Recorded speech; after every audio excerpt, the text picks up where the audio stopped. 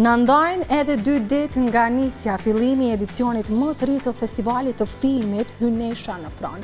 E besoj se të gjithë ne duham që të dimë shumë sa i përket karakteristikave, çfarë do të ketë risi në kuadër të këtij edicioni të 16 e shumë çka tjetër, e pikërisht për këtë arsye, në studio kemi drejtorin e festivalit, Enis Brahimi, i cili besoj se Do të na tregojë shumë çka sa i përket festivalit. Faleminderit shumë për kohën! Përshëndetje të gjithëve, faleminderit që na keni ftu, i përshëndes gjithë shikuesit që janë duke na ndjekur. Enis, e thashë edhe pak minuta më parë se po nisim kështu edicionin e gjashtëmbëdhjetë të këtij festivali. Jeni bërë gati, ngase fillon edhe për dy ditë? Po, besoj që Jemi bërë gati, edhe pse ka pas shumë punë për me mri deri në këtë fazë të cilën jemi tani, po tash e kena pak ma të lehtë se gjitha sendet i kena në venin e vet, edhe musafirët i kena në venin e vet, domethënë që na i kanë konfirmu pjesëmarrjen, edhe gjithçka është gati. Vetëm të presim... Po. Vetëm po presim hapjen me pesëmbëdhjetin. E që besoj se do të kemi një program vërtet të pasur këtë vit, të cilin do e shpalosim vetëm pas pak. Para se të hyjmë tek programi që do e karakterizojë këtë edicion të gjashtëmbëdhjetë, a të bëjmë bashkë një lloj rezumeje, një përmbledhje të shkurtër të festivalit në këto vite të realizimit të tij? Patjetër. Festivali Hynesha në Fron është festivali i parë i filmit në Kosovën e pasluftës, që nga viti dy mijë e dy. Është themeluar nga aktori i njohur Besim Ajeti dhe më pas pa rreshtur dhe pa pushu janë shpaq edicione gjatë gjithë këtyre viteve. Ça e karakterizon këtë festivalin tonë është që nga ekipi jonë domethënë ka pas shumë ide kreative në edicionet e mëhershme, Ka pas, është majtë, janë shpaq filmat në tren, rrugës prej Fushë Kosovës deri në Pejë, edhe ka qenë diçka që u prit shumë mirë prej publikut edhe ju ka pëlqy shumë se ka qenë një ide shumë interesante. Pra ky festival i ka karakteristikat e veta, është festival tradicional që Pothuajse gjithë e njohin edhe do vazhdon që të jetë i tillë. Urojmë që të jetë sa më jetëgjatë të jetë i mundur. Enis, sepse festivalet e tilla kanë një rëndësi vërtet të madhe për Kosovën në vend, për promovimin e saj edhe jashtë kufinjve, pse jo. E të ndalemi pak tek ky edicion, përmendëm pak si shumë do të ketë një program të pasur, do të ketë një program të pasur. Ta shpalosim këtë program tani më? nga cilat vende do të kemi filma pjesëmarrës, kush do e përbëjë jurinë e shumë çka tjetër. Po e fillojmë fillimisht me filmat. Mund të zbulojmë disa prej tyre që do të jenë pjesë e edicionit të gjashtëmbëdhjetë?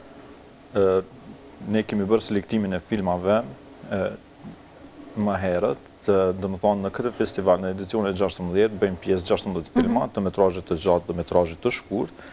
Filma ka nga gjitha anët, po kryesisht filmat që kemi pas më shumë ka pas nga Franca, ka filma edhe nga Kanada që që kanë ardhur, që të cilët janë filma shumë të mirë, që i ftoj gjithë qytetarët edhe filmdashësit që të vijnë edhe të shikojnë këta filma se me të vërtetë janë filma shumë të mirë.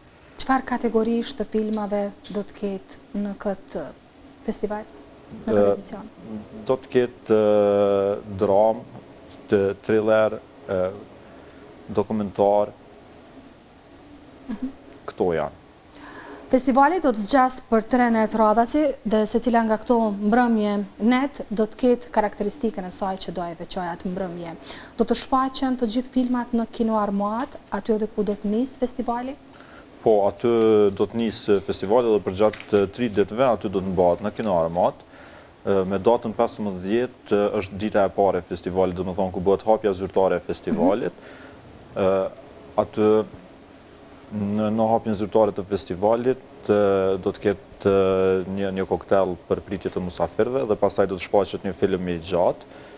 Edhe kjo është nata e parë. Ndërsa në natën e dytë do të fillojë nga ora dy me shfaqje të filmave të ndryshëm dhe në ora katër e kemi një temë një bashkëbisedim për të ndjerin Xhevat Qorraj për jetën dhe veprën e tij artistike dhe pastaj do vazhdojmë me shfaqje të filmave të tjerë dhe do ta përmbyllim natën e dytë në ora njëzet e dy ndërsa në natën e tretë prapë do fillojnë filmat të shfaqen nga ora dy dhe do të ketë edhe workshope të ndryshme ku filmdashësit, regjisorët, skenaristët, të gjithë mund të njohin njëri-tjetrin edhe do kemi edhe mysafirë nga jashtë vendit që mujnë me diskutu për prodhimin e filmit edhe do të mbahen disa workshope. Në ora tetë në ditën e tretë do të bëhet vlerësimi i jurisë për filmat. Dhe pastaj do bëhet edhe ndarja, është nata finale ku bëhet edhe ndarja e çmimeve. Kino Armata ka hapësirë të mjaftueshme, andaj besoj se asgjë nuk na mbetet tjetër veçse të vijmë dhe t'i shijojmë këta filma, t'i shohim ata dhe nuk kemi nevojë për ndonjë rezervim apo diçka të tillë. Jo, nuk ka nevojë për ndonjë rezervim, as nuk ka nevojë me pagu biletë ose diçka të tillë. Unë i ftoj gjithë qytetarët, gjithë filmdashësit, gjithë të rinjtë që të vijnë dhe t'i shohin filmat edhe të takohen me njerëz të cilët janë prodhues të filmave edhe mund të njohin pak se si prodhohen filmat, të mbajnë masterklasa të ndryshme, workshope të cilat janë shumë shumë të mira për të rinjtë e Kosovës. Mrekulli. Enes, festivali ka karakter garues. Tani besoj se të gjithë ne na intereson të dimë se kush do i vlerësojë këta filma.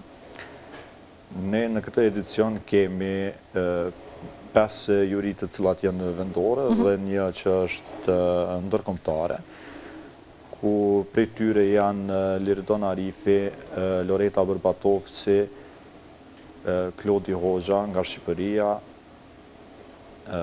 Rina Klokoqi, mhm. gjithashtu regjisore nga Kosova, gjithë këta. Çfarë çmime do të ndahen? Çmimet do të ndahen në dy kategori, për filmat e shkurtë dhe filmat e gjatë, filmat e metrazhit të gjatë, ku gjithsej janë dymbëdhjetë çmime. Është çmimi për regjisori më i mirë, regjia më e mirë, skenaristi më i mirë, diopia apo fotografia më e mirë, aktori, aktorja më e mirë, Po ashtu do të ndahen edhe çmimi çmimi Hyjnesha në Fron, i cili është një çmim me vlerë shumë të madhe, edhe një çmim tjetër i cili është për vepër jetësore. Enes, gjashtëmbëdhjetë edicione realisht nuk janë pak që të realizohet një festival, por të bëjmë edhe një lloj përmbledhje të asaj se sa po ka të interesuar që të vijnë dhe t'i shohin këta filma nga afër. ka shumë të... E kam fjalën për audiencën, domethënë. Po, sidomos të rinjtë të cilët vetëm janë në fakultetin e arteve, në akademi, janë shumë të interesuar dhe e njohin si festival, edhe gjithmonë vijnë edhe na ndjekin edhe kanë dëshirë edhe janë pjesë e saj. Mhm. Mrekulli. Besoj se një pjesë shumë të madhe, një pjesë të rëndësishme, konsideroj se e zënë edhe vullnetarët. Ju keni bërë Një thirrje e keni hapur një thirrje për ta. Po. Sa i janë bashkuar kësaj thirrjeje tuaj? Ka pas ka pas shumë që kanë dashtë me na u bashku, po fatkeqësisht na nuk kena mujtë ata vet mi marrë mi marrë krejt, po ka qenë ka qenë ka qenë diçka që e kom pritë shumë mirë se ka pas shumë të interesuar. Më vjen mirë ta dëgjoj këtë. Enes natyrisht po flasim tani për planet për të ardhmen, çfarë do të kemi tutje nga ju pasi të përfundojë festivali? Pasi të përfundojë ky edicion ne kemi një ide tjetër, pasi që në Kosovë edhe po liberalizohen vizat, edhe po mendojna që me gjetë një mekanizëm apo një formë që me bo një udhëtim në Evropë me tren ose me naj mekanizëm tjetër edhe gjatë të këtij udhëtimit me i shfaq filmat, edhe pastaj me u vlerësua ata filma, edhe me konë diçka ma ndryshe se prej festivaleve të tjera. Me të vërtetë një ide e qëlluar e cila urojmë që edhe të realizohet. Enis kënaqësi që ju patëm sot këtu, shpalosëm bashkë edhe programin për edicionin e gjashtëmbëdhjetë të Festivalit të Filmit Hyjnesha në Fron dhe zbuluam shumë gjëra të tjera. Faleminderit shumë, ishte kënaqësi. Kënaqësi edhe për ne po ashtu. Të dashur miq, këtu në studio pra patëm drejtorin e festivalit Hyjnesha në Fron, Enis Brahimin, me të cilën folëm sa i përket atyre karakteristikave, risive që ai do të sjellë në kuadër të edicionit të 16 të këtij festivali. Është koha për bllokun e parë të marketingut, pra t'i falenderojmë edhe një herë miqtë tanë afaristë. Qenka bërë blloku i dytë tani më.